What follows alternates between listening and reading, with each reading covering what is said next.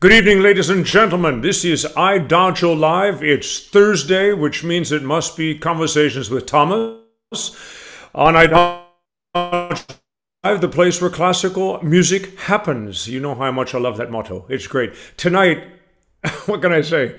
This is a happening show. First of all, my surroundings have changed, which you might have noticed. So I told you, I promised you last week, I'd tell you, I'm actually in Florence. And of all things, and the reason I'm telling you this is not because my travelogue is particularly interesting, but because I'm actually rehearsing again in an opera house for a production. And I cannot tell you how exhausted I am and how good that feels. So I'm in Florence. I also have a co host with me this evening. This is Pinu. Pinu, say hello. Hello. Now, Pinu sits here. Pinu's with me all the time now in Florence. So we have a co host. So enough nonsense. We have a fantastic show tonight. A conversation with a guy I know, like, I'm not sure as, as well as you watching the show know, but, you know, his name, his performances, his legend, his awards. I mean, what can I say? David Garrett, good evening. Wonderful to good meet you.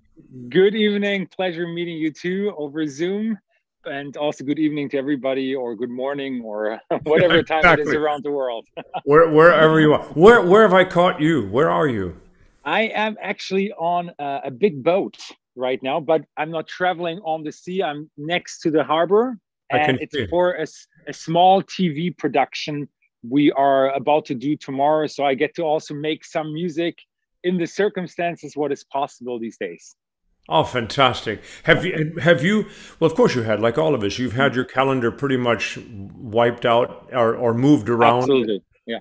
Is everything just moving forward like a big tsunami into the future? A little bit, of course. I mean, in the end, we were planning to go on tour uh, last year and, and this year worldwide. And what can you do besides being very hopeful? I mean, it's it's a very difficult situation for many people out there that's awful. Um, but if people have bought a ticket, of course, you you try to to let them know that the the moment everything is possible again, um, we will perform there, and I'm looking forward to finally performing there. But in the end, um, we, we we are actually moving a lot of things, of course, forward. Yeah. With with the with being very hopeful that things are going to work out very soon. But it sounds like in your world, especially since you bridge so successfully classical yeah. and, and the pop medium, that, yeah. that when when tours or pop projects fall apart, yeah. they just go away. That's just that's it. Well, um, pretty hard to book I, a tour. I, I, I, like to basically, you know, every tour for me has has a big importance because even if I go on with crossover, it kind of opens a door for the next tour, which is classical. You right. know, for for a lot of people who have actually seen me perform crossover, they actually also went to see me play Beethoven or a Bach solo evening. And right. so for me, every tour is, is a step to, to uh, an, another step. So, um, you know, in the end, of course, I think a lot of musicians miss performing right now. Luckily, we do have the arts, even right. if I just play at home and play for myself or play for my mother uh, or for my sister, it's still a sense of performing for somebody, which I, of course, take advantage of uh, probably more than my mother wants to. Has has this time uh, uh has this time been a rest in some ways? Yes, in some ways, no? it, it it is actually a little bit of a forced sabbatical I, I, I, called it my COVID sabbatical last spring yeah. sometime. and please, ladies and gentlemen, don't get me wrong. We're not chuckling or laughing about the hard no. times that we're still in. No. This is a yeah. horrible, horrible time. Yeah. But uh, we artists have had our, our the rug taken out from underneath our feet. Yeah. And somehow we must turn it into a positive development. Yeah. And that's all I, I, I, I, see it exactly uh, as you said. You know, if, if you lose positivity, you know, where you lose hope and, and we, we go down a, a terrible path. Um, yes, it, it has been uh, definitely a kind of sabbatical, yet a lot of doors which I would have never maybe taken uh, or used uh, suddenly opened. You know, I, I started working on um, on different projects, uh, which I honestly would never have had the time to do uh, in, in a normal uh, performance here.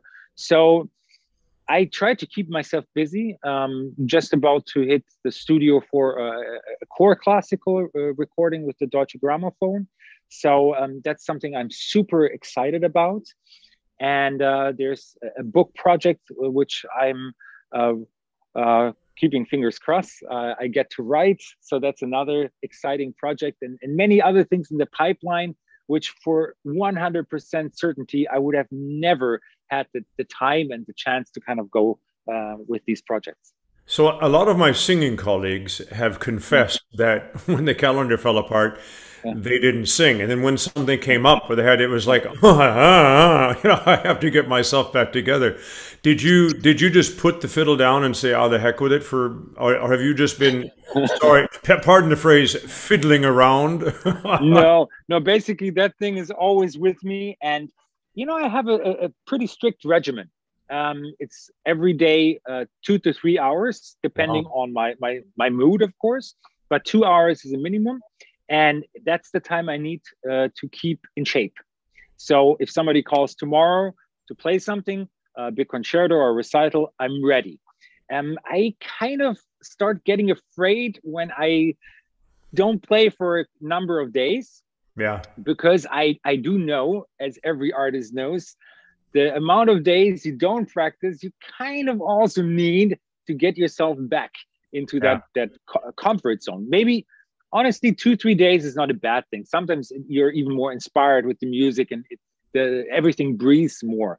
But I think after four days, it becomes a little bit of a um, tougher way to kind of like at least with the violin. I don't know yeah. how it is with the voice, but uh, physically, um, if you don't play for three four days, you hear it. You don't only feel it, but I can hear it. Do you know what Horowitz said once when they asked him this? He said, "Well." If I don't practice for a day, I feel it. I hear it. If I don't practice for two days, my wife hears it. if I don't practice for three days, the whole world hears it. it's it's, so. it's very it's very true though. It's very very true. So um, to get back to the, the question, I really do enjoy practicing actually. So for me, keeping in shape or whatever you want to call it yeah. is actually something I do because I like doing it. Ladies and gentlemen, what we're talking about, this is also a kind of a unique uh, uh, interview, which is really fun. As you know, I've been interviewing and, and getting to know so many colleagues that I wouldn't normally have had a chance to meet so casually uh, through this series of interviews, which I thoroughly enjoy. And IDAGIO.com, the wonderful streaming platform, and then we have IDAGIO Live, which of course is this series. But of course, last, last uh, June, uh, we started the Global Concert Hall, which has been a huge success. And, and that's what we're doing tonight. And this is actually a pre show, pre-concert interview, if you will. I think the concert starts at 7.30, but it's going to stay online for a while, so you can come and go. If some of you have to drop off because you want to get the downbeat of the show, I get that completely, but we're going to keep going. You can always come back and hear the rest of it because all of the interviews stay online. But this is actually called, the show tonight is David Garrett Unlimited from Verona, which is streaming in the Global Concert Hall tonight today, tonight, whatever your day is, Thursday, 25 February at 7:30 p.m. Central European Time, 1:30 p.m. Eastern Standard Time in America. And don't let me go through all of that. I don't know what it is in Australia, but uh, you're mind. doing it beautifully.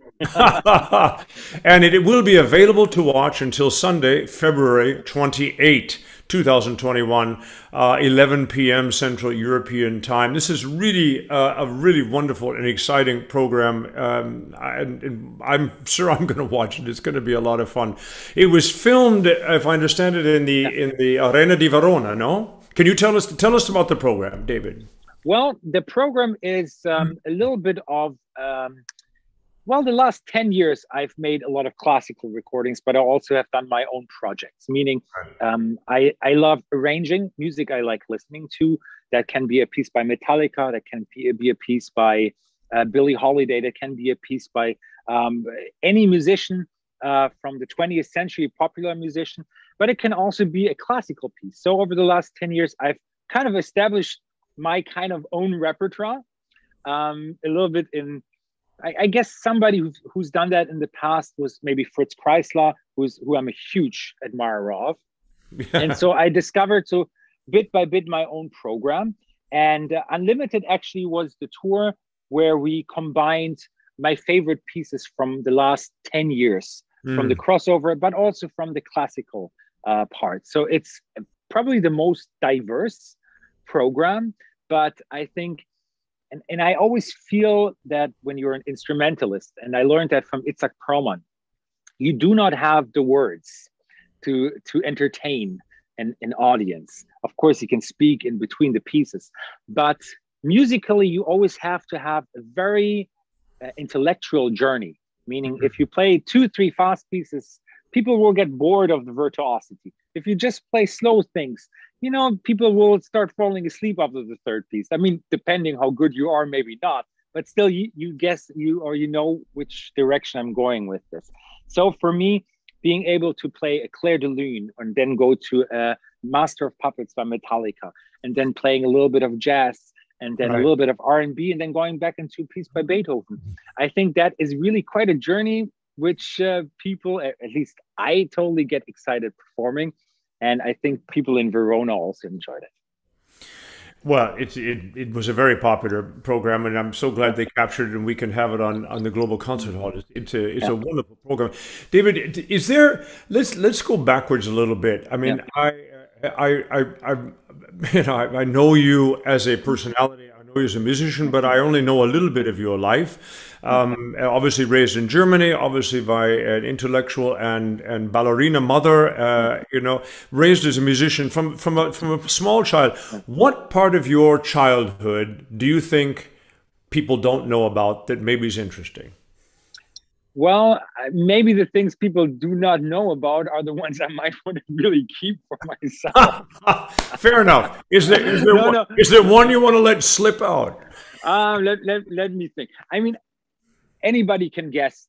The violin is an instrument where you start practicing at a very, very early age. Yeah.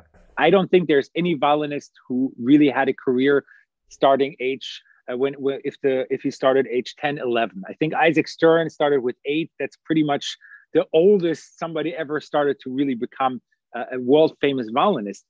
Um, that being said it is very draining. It's a lot of work. It's very frustrating. I i see my nephews my nephew from a, a child from my brother just turned five.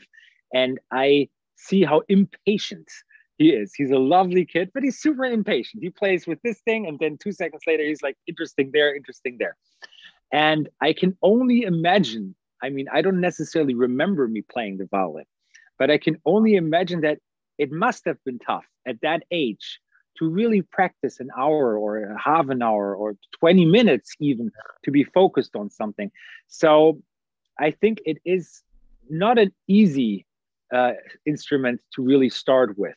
So but, how did it start? Was it was I mean your parents were encouraged uh, musically and that's fine, but yes, clearly you must have just loved it when you when you started. It was like I want to do. Well, he, I, you know, I have a brother who's two years older. He's now a, a lawyer, so he, he stopped. Oh, he has a real he has a real job. He has a real job, yes, and lucky him, he actually does have a job for the last year and a half. Um, but uh, you know, he, he started actually uh, playing the violin. It was a little bit of a forced marriage with the violin because my dad wanted my brother to play the violin. And uh, so obviously, I'm five years old. I don't know my brother has a forced marriage. For me, my brother has a toy which I do not have. Of course, being the younger brother, I do want to have the same toy. So me actually asking for the violin was was a personal decision, which I I 100% uh, probably also um, uh, what's the word i'm looking for? Well there were certainly times where i regretted that decision because it's it's ups and downs when you start learning the violin but in, in the end my brother was the one who really made me think of the instrument as something cool. Well what, what were your friends like? Did you have other i mean as a, as a kid where yeah. you you know, I was playing baseball and doing yeah. completely asinine yeah. things as it as it being what they call a normal child in America. But but I mean, when you're spending that much time and you're so devoted to it and you want to do it, did you yeah. did you share that with other friends? Were you in a music school early? Were there other people? You know, were the, were the other boys and girls playing violin in your class? What was that like? I, I was actually living kind of two lives. on the one hand, I, at that age, I was still going to normal elementary school. Right. But on the weekends, um, I was always traveling to teachers. And uh, to be quite honest, I wasn't the cool kid at elementary school, not at all. Violin, hmm, kids can be mean. It's not the instrument where uh, the boys and the girls come over and are like, "Hey, uh, uh, show us the instrument. we play something for us." so that, that, I was I was kind of the nerd for a very very long time, very long. Um, but of course, there was always that musical island uh, when my parents drove to uh, Lübeck at that point or to uh, Hilversum for different teachers. And in those classes, I was cool because I was actually getting quite quickly good at something. So for me, those were the islands where my self-esteem with the violin and I'm good at this. But school uh, was was something totally different. So it was a little bit of a double life. In right. one life, I was eh, the nerd, and the other one, I was actually being appreciated for being a nerd. That's, that's, incredible. Well, I mean, this double life thing, I mean, that, that seems to be a, a, a, theme because you are so amazingly versatile. You used you used the word crossover, which I know is a word that yeah. we use in the classical department, and I certainly made a lot of crossover, crossover, yeah. crossover records. But I must say, you know, sometimes I was a bit flippant and I said in an interview, I would say, I'm not sure which direction I'm crossing over from or what crossover means. And, and. What I find with you that is so remarkable, and it's somewhat similar to Renee Fleming, you know, I did work, I did songs that, from, you know, Kern and Porter and that sort of thing, which we considered yeah. classically trained artists and so forth. But you guys, but especially you, you have, you certainly, you just simply embrace other genres. And, yes and there's no question when you play, you know, whatever Billie Holiday or or yeah. some other piece or some, yeah. as you say, crossover music. Yeah. There's there's maybe somebody who's never heard you and hears you play that. If somebody said, "Oh well, you should get his Bach recording because it's just amazing," they'd probably look at me and say, "What's a Bach?" or "Oh, that can't possibly be." And, and perhaps the other way around. Is that something that comes naturally, or is it something you cultivate or you've worked on? Um, it comes very natural. You, it, you play the music you play. I let's quote another great uh, composer and musician, uh, Leonard Bernstein. I mean, he said there's either great music or there's bad music. And wow. let's face it, there's also classical music is always put on that pedestal. But let's face it, there's so much bad classical music, which is forgotten. So there's not only great, amazing classical, there are great pieces and wonderful repertoire uh, everywhere. But um, for me, a song needs to be um, connect to my heart. It needs to be emotional. It needs to have a wonderful harmonic progression. It needs to have a great melody, which gives something to me. And and that is found everywhere, even the most simplest melody. And let's let's face it, even Mozart and Beethoven, they made very simple simple pieces for the piano here and there, and mm. they're so beautifully. So, of course, when people say you know pop music isn't that complex like a ninth Beethoven symphony, that is absolutely true. But I think the quint, quintessence of, of a great piece is a wonderful harmonic progression and a great melody. And that can be 30 seconds long or 30 minutes long. Right. It's still so hard to create that. Well said. Um, back to your biography. Yehudi Menuhin. Yeah. Were you close? Did you study with him a long time? I did. He was yeah. very, I think anybody who met him, anybody who had the privilege and, and pleasure to to work with him uh, can can testify he was such an amazing, humble human being, and he was drawn to talent. And I think uh, when we first met, I, uh, I, I, of course, the hero. You know, I was almost shaky. I was nine years old, but Menuhin was like my, my the icon. I listened to all the recordings, and you know the the, the and so so I was so nervous. But the moment I walked into it was a hotel room. The moment I walked into my parents with the hotel room, he came over and he gave me a hug.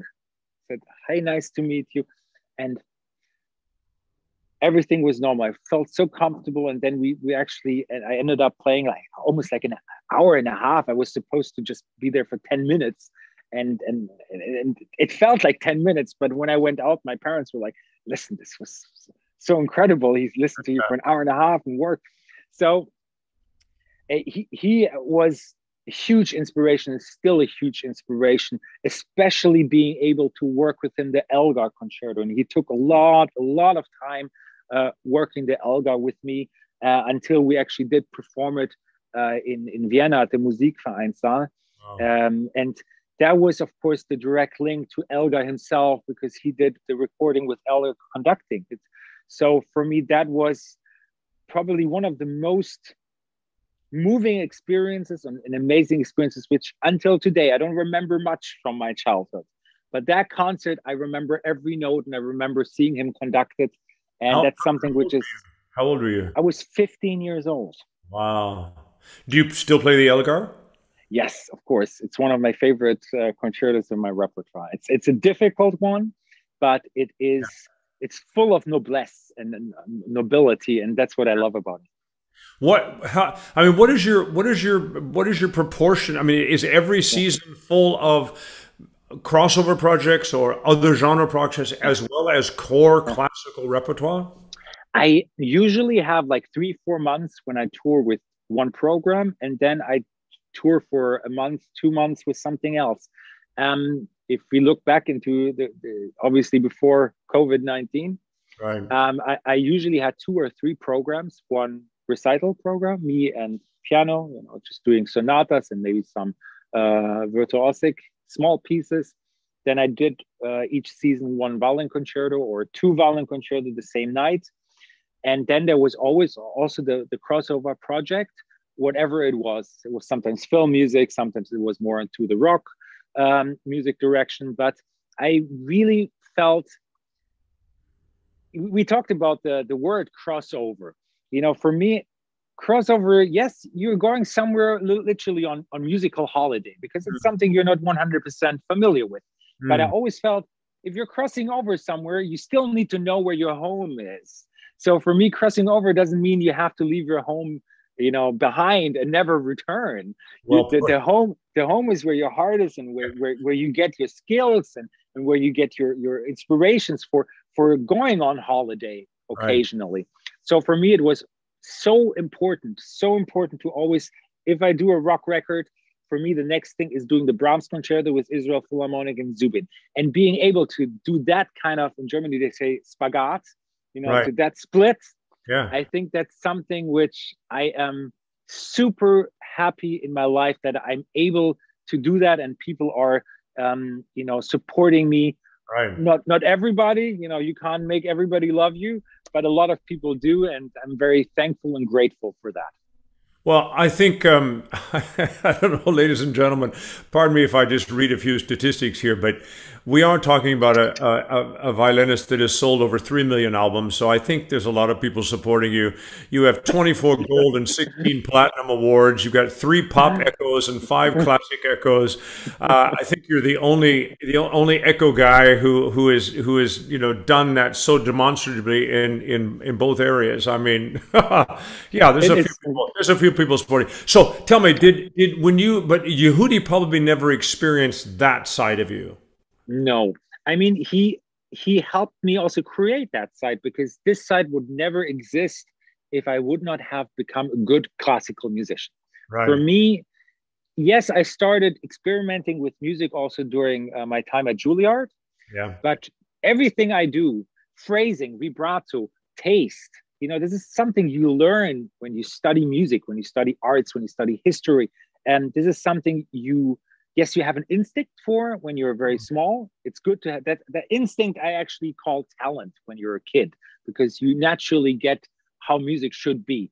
But at right. some point when you're 13, 14, your brain needs to take over. And instinct you should kind of put apart and question your own instinct because only if you question your instinct, you will actually find the good instinct and also the bad instinct because you, not everything you do naturally is right. At least you have to question it.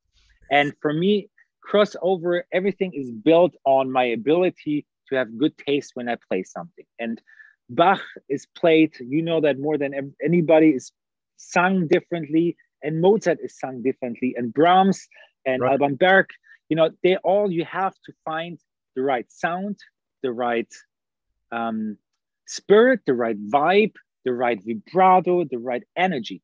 And it's pretty much the same going also a little further with going into jazz or into pop.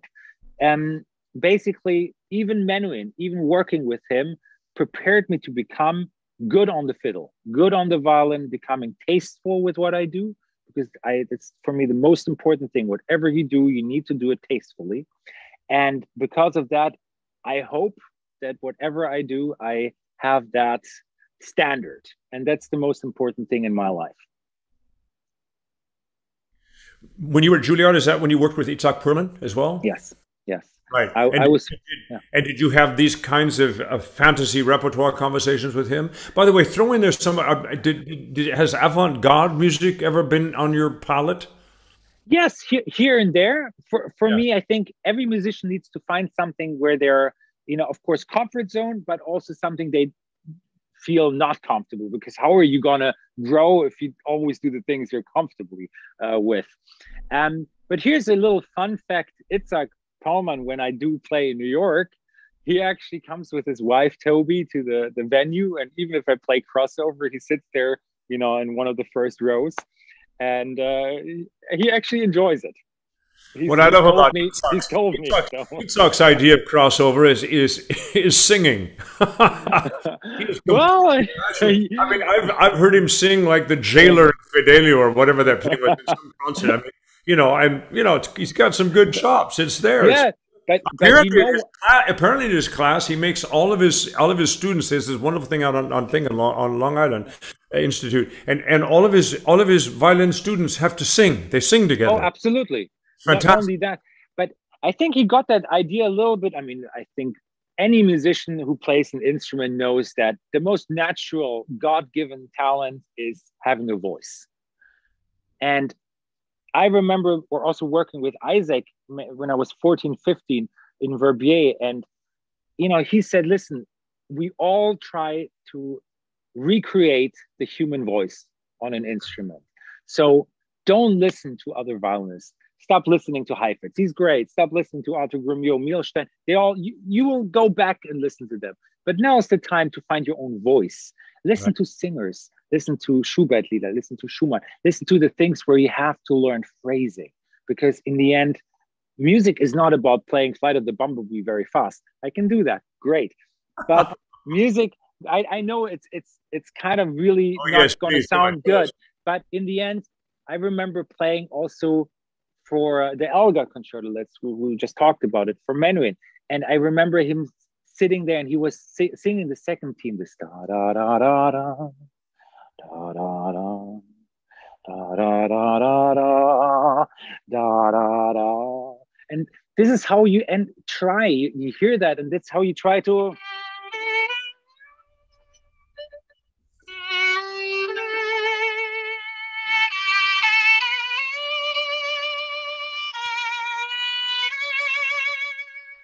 question again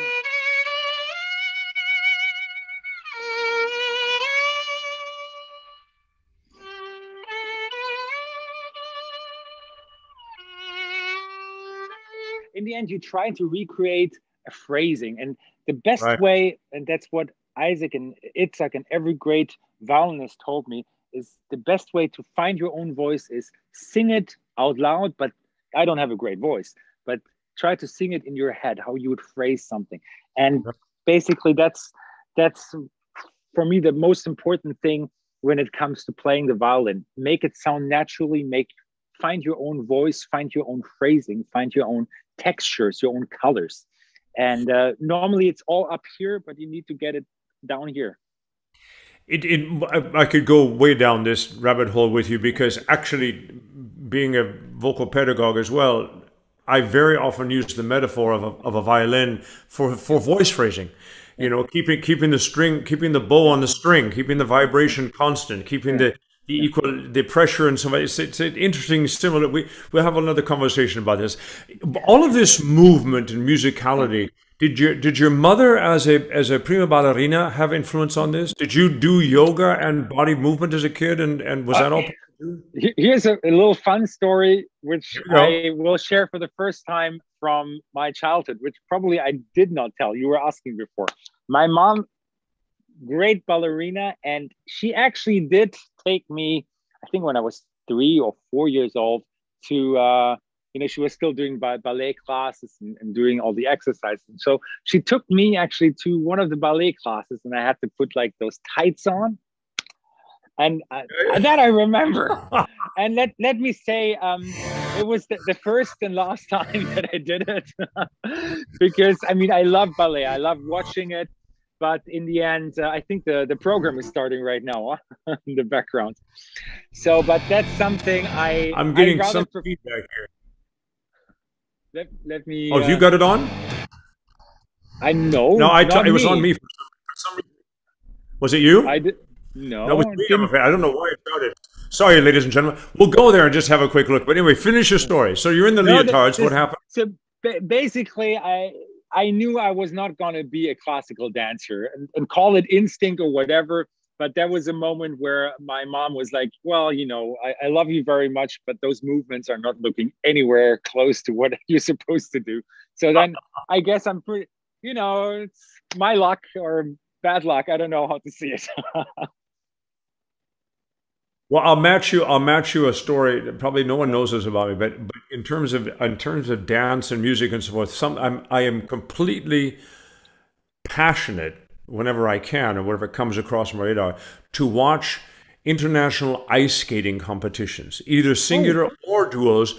This yeah. movement on the ice, and especially when it's really interesting mu- music, and you know, some of the high level competitions, you get some Shostakovich and you get some modern things, and some, you know, I, I, abs- I just, I just love watching this and how it works. And of course, it's amazing what they do, but it's the, it's the flow that interests me so much yeah i mean it's uh, to be quite i was actually quite um uh, I was actually working with uh, Yevgeny Plushenko actually at some point on uh, it was an event called like I think um, dances on ice or something like that, and uh, yeah. I was for- fortunate to play some classical music while he was doing his turns and stuff.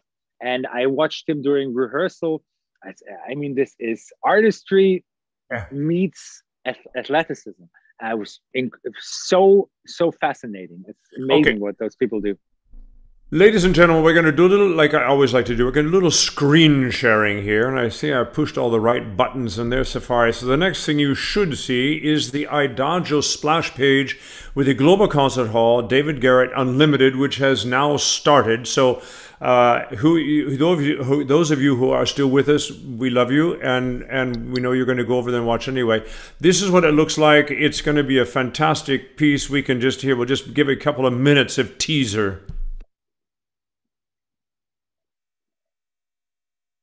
There he is. that was backstage.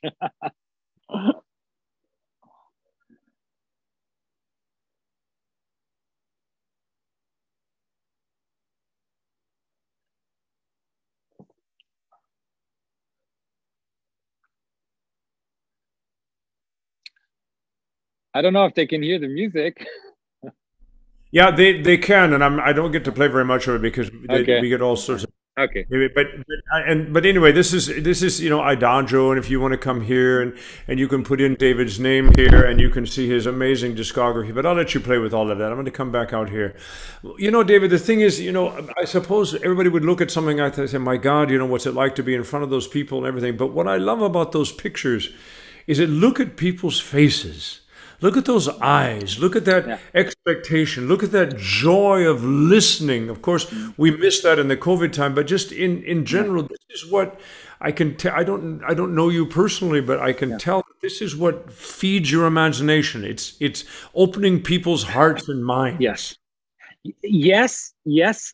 I do have to say though, if I walk on stage, um, for me the most important thing in my head whatever program i i play is i want to do a, a, good decent job with the music right. I, if there's an orchestra or a piano player or a band on stage the first and foremost important thing is i want to be happy after that show i want to be focused yes of course i, I see the people but my priority is always with exactly. me and i think the moment you lose that priority and try to play too much to the audience it's never a great show. I think people in the audience realize when you try to please them. Intimacy on stage, that view that an audience gets of an artist being in his element. That is what makes fascination for an audience, not somebody who's, you know, of course, there are moments when I play to the, the audience because they need to be there, but that's not what what I truly do inside. In the in the end, even if I go like this, I know musically it's important and I do it for myself and I do it for the music. And it's funnily I, enough, maybe the, maybe play, the question was actually clumsy from my side. Yeah. No, no. I, no sorry, no, I've got a bit of a leg. No, my, yeah. The question was clumsy from my side. I didn't mean that you go out to play to those thousands of people, but but you have this enormous following, and and people believe in you and about you for exactly the reasons you just said. And I certainly hope a lot of my voice students just listen to you say this. Now, look, what we're going to do, and because I, I, don't want to, we, we actually sent out and asked anybody who wanted to send in some questions to send them in, and we got. Great. Only, only about 87, 5, 87 of them. I don't know. I don't. So I thought what we'd do is just. I'm going to just randomly go through this. So Danya has said, I attended 14 of your concert. What is the song you played that you are most fond of between classical and pop music? That is somewhat a typical question we all get. Uh, I have a whole time answering. What, what do you have? Can you answer that question? Yes, the Bach Chaconne.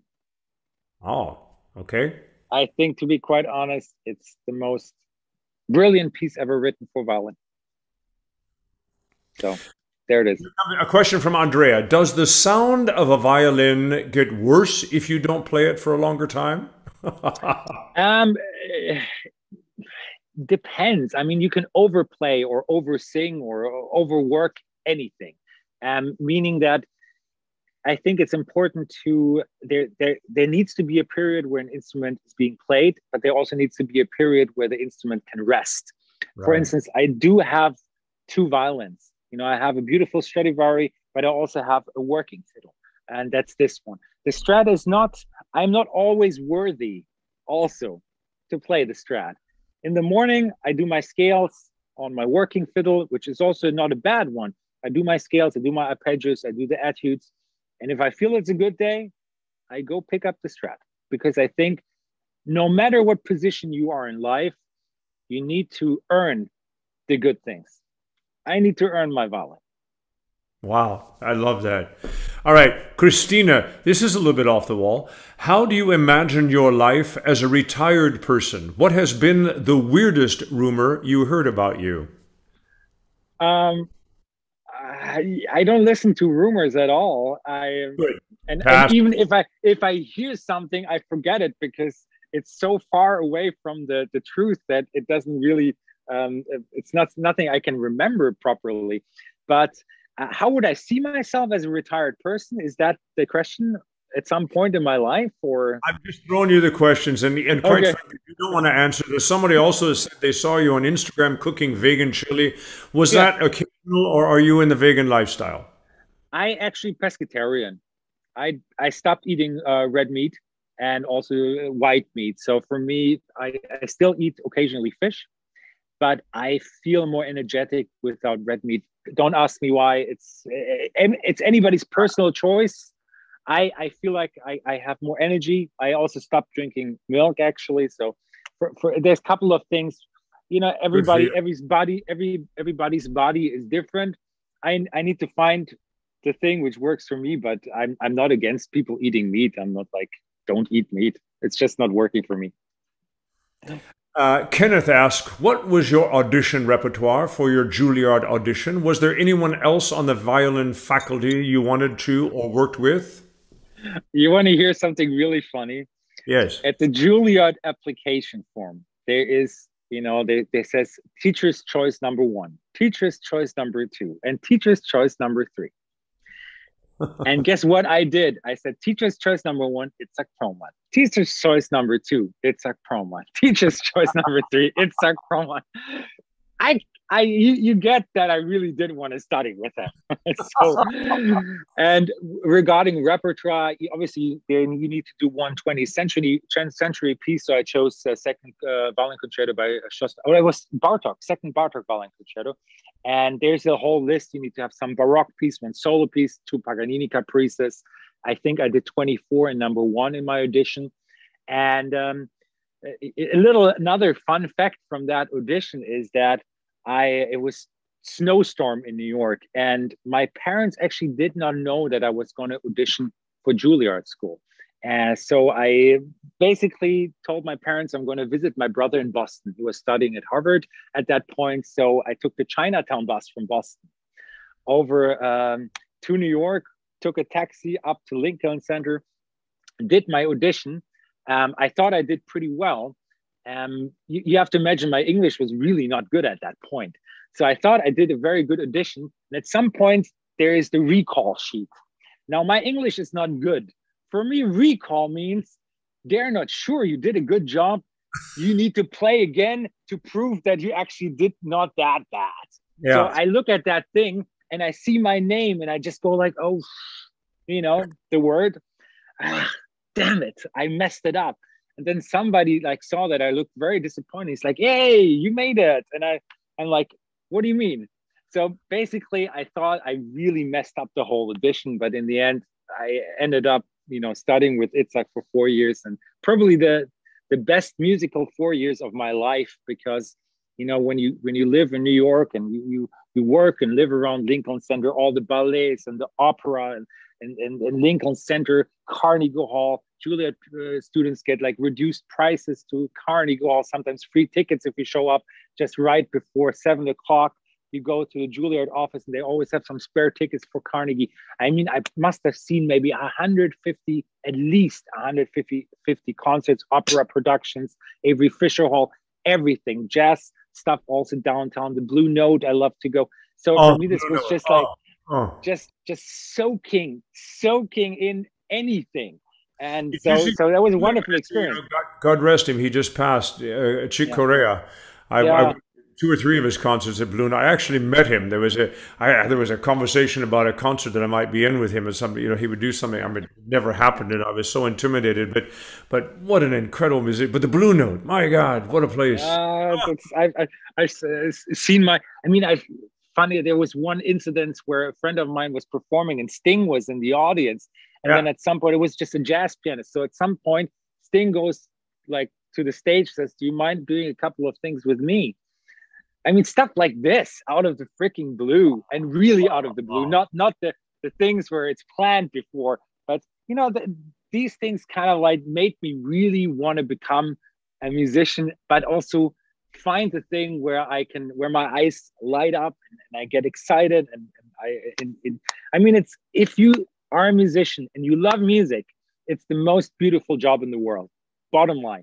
And even now we can't really perform, but you know it will happen eventually again. And I'm, I'm really looking forward to to playing again for myself, but of course also for everybody who's going to you know show up. You have an eight-year-old fan, Søren, who would like to ask you: Do you ride a motorbike? No. I uh, bicycle, yes but not even in the city. I have to take the bike out to some, you know, outside of the city. I am a little scared of my hands. You know, I, it's it's it's it's my living, and I think if I would break a finger, I would be not forgiving myself for being that stupid to let that happen. And yeah. you know, of course, you know, accidents can happen, and sometimes they're not your fault. That's karma, or you know, with destiny, and, and things sometimes happen that are not good but me taking an, a certain risk and i think driving a motorcycle or motorbike eh, that would be too risky for me certain things i would just not to.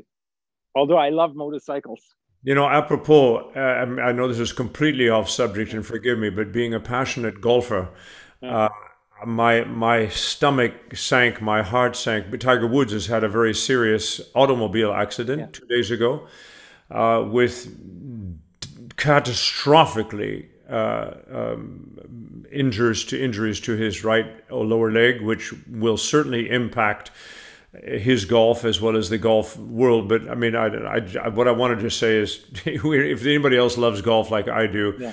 our hearts are with him and his family, and but especially with him. Absolutely.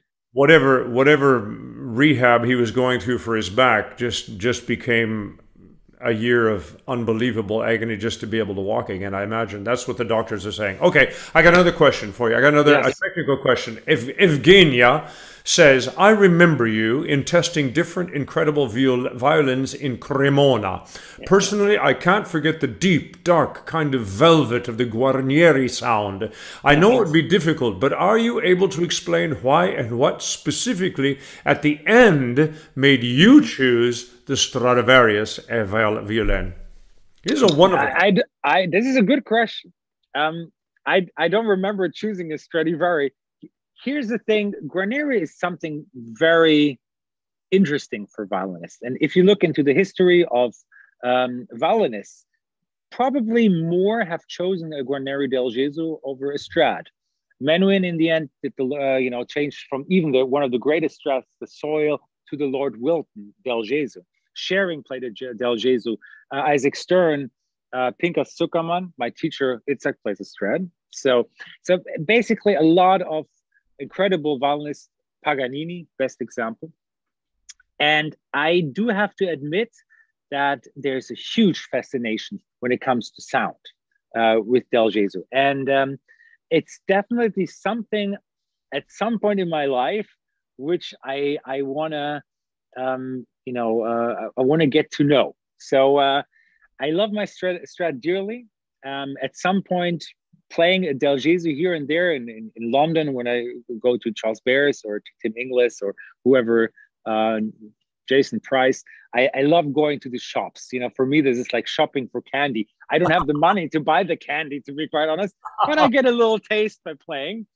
And so at some point, a, a nice Guarneri del Gesù is definitely a, a, big dream, of course. So, David, let me ask you: If you yeah. go into a shop, do do, do all yeah. the major what the shops you go into, they know who you are or not? yeah, I, I, guess sometimes they put a little bit of bigger price tag on just before I enter the room. But I mean, do you have you ever had the experience of like going in and and and, and you say, oh, that looks like a wonderful violin? And they say, oh, do you play the violin? Well, I used to play the violin. Have you ever have you ever sort of smoked somebody? Have you ever caught them off guard? Um, I actually sometimes do it in, in New York when there's a violin player on the street, and I'm not necessarily wearing you know the hair like this, but I wear a cap or whatever. Yeah, yeah. And then I'm like, let me see the fiddle, you know, and then do you mind if I play a few notes? Yeah. So usually I, I, I do play something nice and they're like, hey, you must be professional. I'm like, yeah, sometimes. okay, here's another nice question. If Guanyo, I think I'm saying the name right, yeah. if you could have a heart to heart conversation with any deceased artist, musician, writer, poet, or scientist, who would that be? Oh, probably Mozart just because the letters he wrote are so much fun and they're so like full of vulgarity actually sometimes i think he would have been a great person to uh, spend a night with because he, he did like his, his wine he did like his women and he was quite a fun character and on top of that was an absolute genius with the amount not even talking the amount of work he did in, in his short life but also the, the quality and, and the advances in, in, in musicality. So Mozart it would be. Okay, here's a question. I, I'm going to read it because, and I don't even know what she's talking about. What is the meaning of the human skull motive for you? It's fashion or philosophy or an approach to life. So please enlighten us first of all. What the heck is human skull motive? No, no. I, I, I usually wear like a skull ring on this hand, or uh, the left hand is is left pure because I have to play, but on the right bow hand. And I used to joke, you know, because Perlman was always telling, you know, the bow arm, you need to have a strong bow arm. And I was like, when I went with the ring into uh, Perlman's classes, he was like, why are you wearing a ring? I said, "It makes my arm heavier, you know, can dig into the strings more. No, uh, but it, it was a fashion statement. You know, for me, it's, you know, I don't, I don't uh, mind having something on, on, on that finger. It, it's not, a deep philosophical thing that yes i could start saying you know death is part of life and and which it is but in this case it's just a fashion statement well, if it makes you feel any better, my co-host Pinu, his sweater is also skull motive. I just realized that. So I'm. By, by the way, Pinu is the, the the kindest dog ever. I I see him always in the background, but he's so quiet, lovely dog. He just wants to be there. He just he's just he's got no questions. He's just hanging. You know, he just you know. He's but he's hanging beautifully back there. He's, a, he's a sweetheart. We're we're kind yes. of using the pod here. Let's see if I can find. it. Okay, some a lot of people want to know whether you're going to start recording or when the next recording is for Grammophon.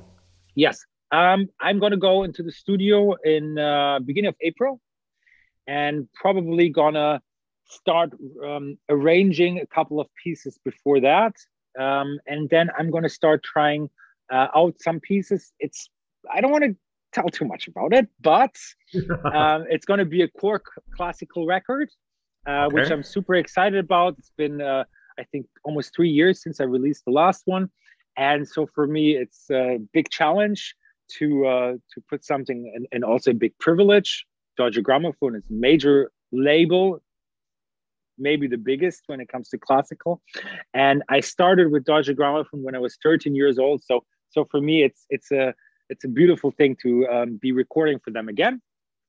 And, but repertoire, uh, I, I, still want to kind of like keep it for myself, and uh, but it's going to be beautiful, and hopefully, hopefully, people will enjoy it. I'm sure. Look, I'm seeing a lot of questions. I'll play some more here, but, yeah. but I can see people, you know, you in, in Spain, in yeah. Egypt, in Istanbul, in Georgia, in Korea, in Poland. When are you coming back? when it's possible. Yeah. Trust me, I have my suitcase packed in the corner. My violin is next to me. The moments airlines and, and restrictions with quarantine are, are possible to tour or possible to, to enter and, and play. You know, the problem with you you will be able to travel somewhere, yes, and with a negative uh, test and stuff. But the problem is, I travel over there by myself. Even if I play a solo thing, I have to stick around in most countries for two weeks or 10 days at least, and then wait another 10 days or travel to another place, wait 10 days. I mean, there was, would be a wonderful way to do a, a long vacation with occasional concerts. But for me, and when it comes to touring and when it also comes to, you know, taking a pianist on, on, on tour, I, I cannot do that right now. And of course, there are no possibilities to play anywhere. Nice. So the moment there are small concerts halls available, you know, I, I'll, I'll trust me in the first one who's you, who's going to travel. you you still go on on tours with with a pianist and do classical solo violin repertoire and in Suntory Hall or or Carnegie yeah. or whatever. Yeah. yeah, that's and then you have these enormous because something like yeah. this Verona concert. This is an enormous logistical apparatus. Was that only in Or was it? It was part of a tour, wasn't it? It was part of the tour every night. That same apparatus. Yes. Every night, somewhere every else? night, yes, every night. Uh, oh my god! It's, it's quite a. It's quite a. We have like six, seven, eight trucks. We travel with with that overnight to the next city. And, and, I mean, I don't have to pick everything out of the truck and place it. Obviously, I just pick up my violin after the concert. But it, it really is a huge team who's, who's preparing everything overnight, and and you know those are actually the people who are actually most um, suffering right now because yeah. you know they they they live from that Absolutely. touring life. I we we are lucky enough to have had our career, have had our uh, you know possibilities to to settle down and and and you know we do music because we love doing it not necessarily because we we have to pay the next you know check on, on the restaurant which is not open here either.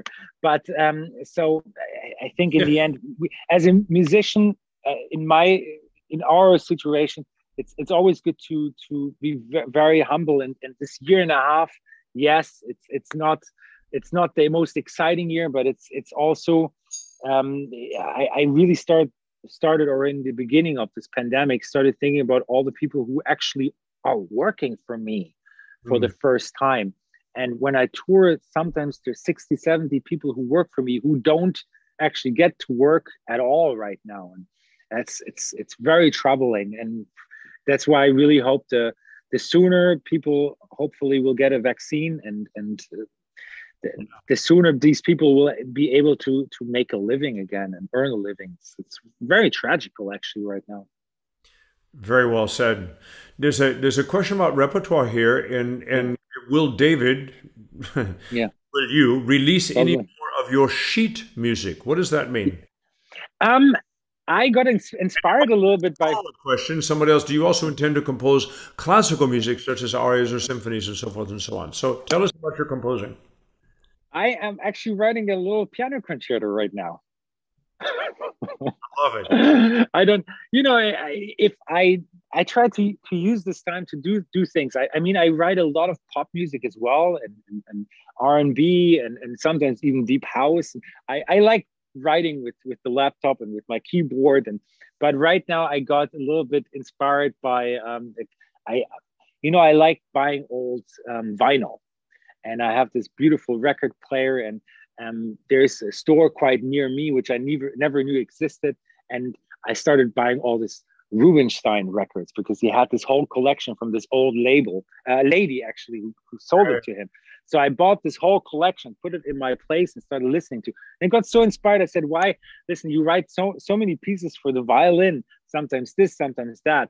Uh, why not write for for different in, different instruments?" So I I just finished the second movement. I'm halfway through the third, Wow. Of course, I I kept the first first movement is the biggest challenge. Of course, I mean that's that's the big baby. So I started with the second, which is finished halfway through the third. Hopefully, going to be finished by the end of the month, and and then I give it a try at the first movement. So so little project. Elena, maybe this is the last question, and there's so yeah. many. A lot. Hopefully, hopefully, people, if you sent your questions in, David has answered so many of your various aspects of the questions. What is it more like when you compose your own melody song, for example, Serenity?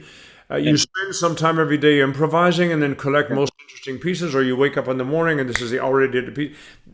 Uh, how, how does a song start, basically? Um, there, there are two ways. Um, sometimes you just have a melody in your head.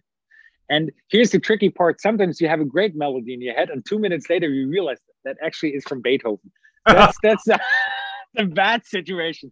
But sometimes you have a great melody and then you try to search, is it somewhere? And it's not. And that's the moment you sit on the piano and harmonize the melody and write it. So, but actually, to be quite honest, listening to so much classical music, it does happen a lot that you think you have something great. 10 minutes into arranging the thing, you're like, ah, that was Brahms. Damn it. Okay, throw this away. it's true. Right. I've got another question for you. This is this is this is a this is a real trivia question. I, I wrote, read this. Like you were you were the Guinness Book of Records holder for the fastest. I mean, it's the Hummel concerto thing. And, no, no, the side of the bundle, dude. 2010. Who who dethroned you? And, and until now, to be quite honest, nobody, because the person who actually theoretically said he played it fast and didn't play it on an acoustic violin. And anybody who knows a little bit about music uh, or about the instrument is when you play an acoustic violin, it's a different kind of bow stroke and a different kind of playing than when you do. And he did actually play it on an electric violin, and that is, I could play it much faster on the electric either because there's no, you don't have to produce the sound. Right. right. So nobody so far. Sorry, I've got to be honest. Fantastic. Oh my goodness! Look, I've, I've we're, we're right at one hour. We promised to be one yeah. hour, and we are one hour. What a wonderful conversation. Everybody, please go check out this concert, the live from Verona. Uh, and and wherever else you are, David, you're you're a. It's it's great to meet you. It's just great to Absolutely. meet. Absolutely. I, I hope at some point when this whole thing is over, we get to meet in person, and I'll uh, we, will be able to shake hands. If you if you get a song going that you want to hear somebody sing it so that you can make it violin, let me know. Absolutely, I will. Thank you so much for your time, and uh, to every to everybody to everybody out there, stay safe, and I hope to see you all very very soon. That goes for me as well. See you next week. Bye bye.